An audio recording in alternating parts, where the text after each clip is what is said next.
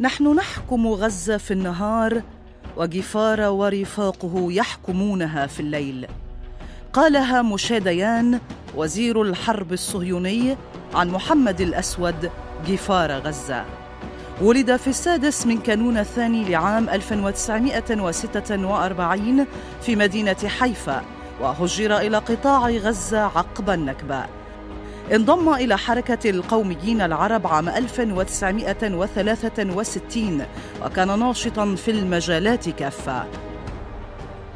بعد هزيمة العام 67 أصبح قائدا لإحدى المجموعات في منظمة طلائع المقاومة الشعبية ثم الجبهة الشعبية لتحرير فلسطين. اعتقل لمدة عامين ونصف العام وأطلق سراحه عام 1970 واصل بنشاط مكثف إعداد المجموعات العسكرية وتولى قيادة العمل العسكري للجبهة الشعبية في القطاع.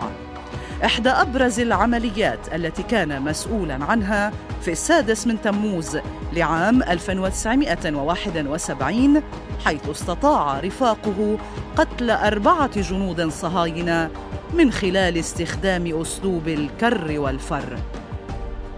في التاسع من آذار العام 1973 حاصر الاحتلال بيتا كان جفار متواجدا فيه خلف مستشفى الشفاء واستعان بآلاف الجنود والدبابات وغطاء جوي.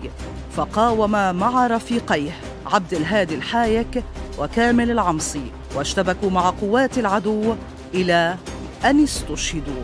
ما دفع مشاديان للقدوم إلى غزة للتأكد من مقتله بشكل شخصي. العظماء لا يموتون بل يخلدهم التاريخ.